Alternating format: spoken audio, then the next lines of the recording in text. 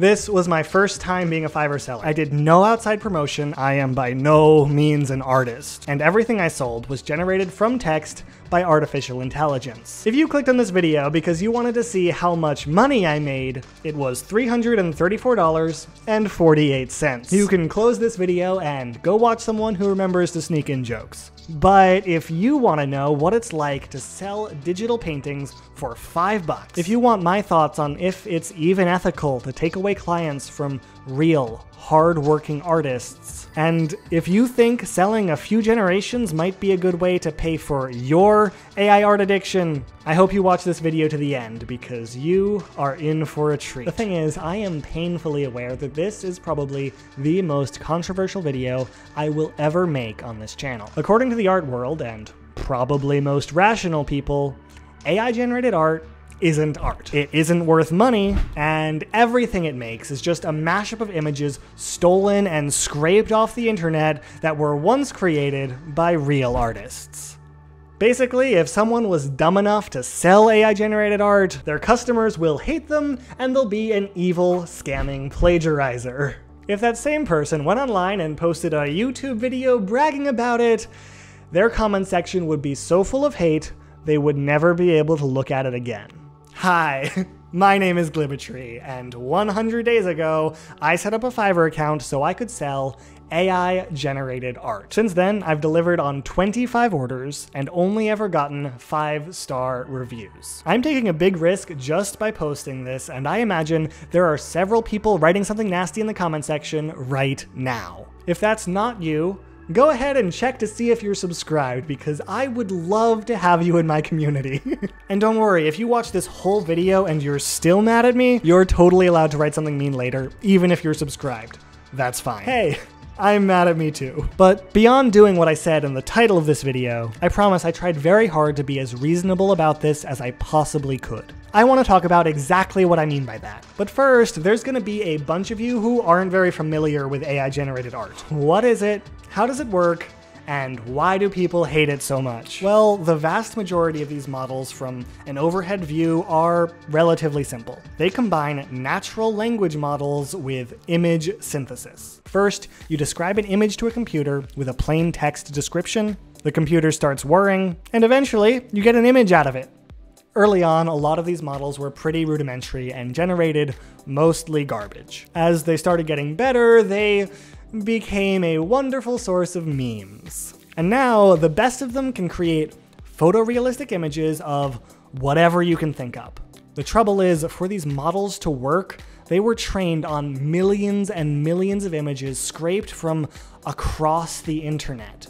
That means they took the hard work of thousands of artists, photographers, and graphic designers, the likeness of hundreds of celebrities, and the purest moments of the sweetest of puppies and pumped them into a computer. The only reason these models know anything about people or objects or animals or composition or color theory is because it did some kind of math problem on the collective database of human creativity. So not only is it better at generating different variations of Emma Watson than it is at generating a unique looking blonde lady, it can also bar for bar mimic the style of any artist who was a big enough part of its training data. And if the model can do that, anyone can. It isn't hard to understand why artists are concerned about letting the general public write a living artist's name into some text box and then getting original work in their style in under a minute.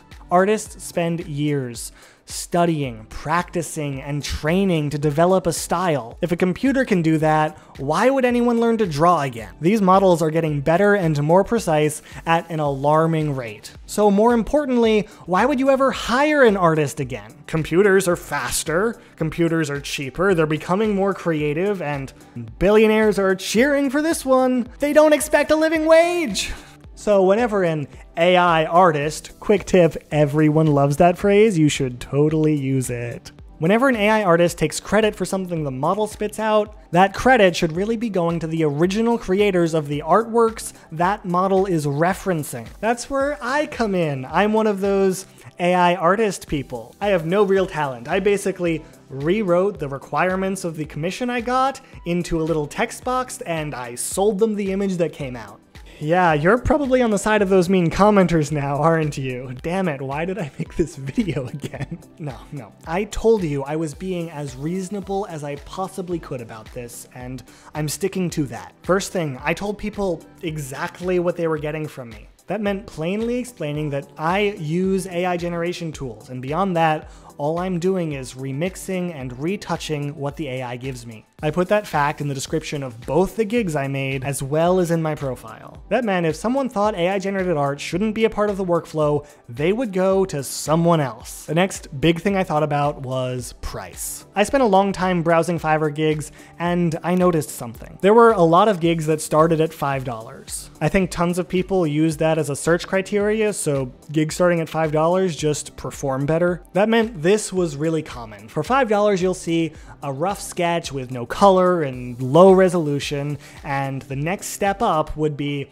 $125 for the actual gig. I would say that working artists that are actually making original images would charge a minimum of 40 bucks for polished line art and about 100 bucks for a premium full color piece. I didn't think it was right to be competing at that price point. Even if AI generated art was able to deliver something similar, I had no interest in taking their customers away. Instead, I wanted to be competing with the swaths of people on Fiverr who were dragging and dropping stickers from a whiteboard stock photography site. Fiverr is also full of scammers trying to make a quick buck from people who don't know what art should cost. Buying cheap art on this website is always going to come with some hazards. But my thinking was that by keeping my prices cheap enough, if someone is really on a budget and wants their idea brought to life, AI generation is the best deal they're gonna get. The last piece I needed to decide was what I would actually sell.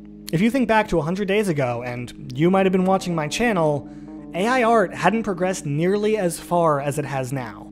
I was still using Disco Diffusion on AI Art Studio, and it was bad at most kinds of images. I needed to limit my scope so I wasn't getting commissions for anything the AI couldn't pull off. You may remember Disco Diffusion had no idea what people or animals looked like. It had trouble with right angles, and only understood the concept of what different kinds of objects were. The one thing it was good at was landscapes and city scenes, so that's what I offered. If you create a Fiverr gig, you need to title it in this I will format. So I called mine I will create concept art for your landscape or city fast. I offered three tiers. For $5, I made a less detailed draft with a lower resolution. For $10, I offered exactly what was in the gig, detailed concept art at that same resolution. And for $15, I upped the resolution to 1920 by 1080, full wallpaper quality. At these prices, I felt confident that I would only be competing with people like me who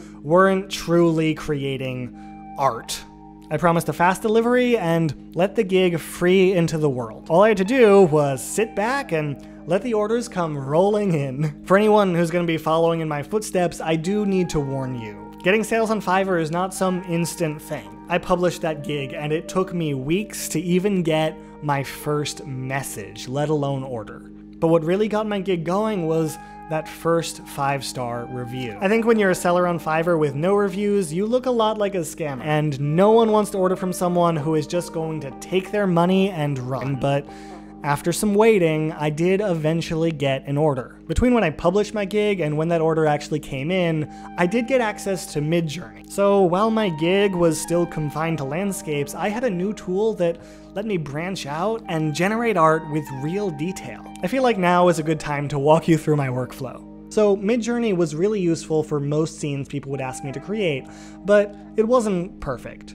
Conceptually, it could handle an idea, and really nailed the style and vibe I was going after, but to actually put the pieces where the client wanted them was beyond what Midjourney was capable of. Like if I needed a walkway or a dock or a specific type of building, Working from my prompts, the generator would never put the pieces in the right place. Instead, I would generate between one and four images and remix them in Photoshop. I'd place different pieces from different generations to get exactly what I was looking for. Now, I am not a Photoshop master, and at this point, these images would be rough around the edges to say the least. That's when I went back to my trusty AI Art Studio. Disco Diffusion lets me provide an initial image. Then, when generating, it would keep the form and colors from my Midjourney mashup, TM. But depending on how many steps I give Disco to work from, it can actually stylize and clean up the result. This is ideal because Midjourney images have a lot of artifacts and you can almost always tell when you're looking at one. Especially with the older upscalers I was using at the time, Midjourney had a vibe I just didn't love. The thumbnails in my gig were from AI Art Studio since that's all I had access to when I created it, and this flow let me continue to match that style even though I was using Midjourney. It was a beautiful combination of the coherence of the Midjourney landscape, as well as Midjourney's understanding of aesthetic, while letting the finishing touches from Disco Diffusion clarify the style and clean up my poor Photoshop work. This video is already getting long, and I am not gonna go through each commission one by one. Instead, I am just going to tell you what this all was like for me. On one hand, I will be the first to say the images I sold were nothing spectacular. They were crude mock-ups where all of the flair was AI generated. On the other hand, this project was extremely gratifying. I have been addicted to generating art ever since I was exposed to this nonsense. It eventually got to a point where this challenge meant that most evenings I was getting paid to do something I would have been doing anyway. These gigs gave me ideas, and it was fun for me to see how the AI would interpret them. I did have to say no to a lot of projects. There are things outside the scope of what an AI can generate well. But overall, everyone I worked with was kind, had fun ideas, and were appreciative that I was doing what I was doing for such a cheap price. It seems like the people who gravitated towards my gig were pretty understanding that cheap art has limitations. They had a budget to stick to, and I bet they were thrilled to see that there was someone out there who could bring life and color to their idea without breaking the bank. I really don't think I was taking work away from talented people, but there is a hunger out there for more beauty in the world, and AI generated art is making that beauty more accessible.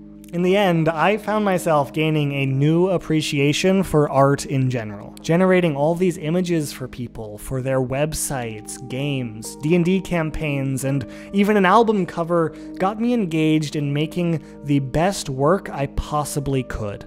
I found myself trying to learn a lot of the things I earlier said no one would have to learn anymore. My YouTube homepage has been filling up with different artists' ideas on framing and composition and color theory and drawing figures. I have become more engaged with the artistic process than I ever was before this challenge. After 100 days of using an AI to deliver commissions, I have started to truly understand how much of the world's beauty has come from extremely talented people. If you like this video, thank you so much for watching, and I'll see you in the next one.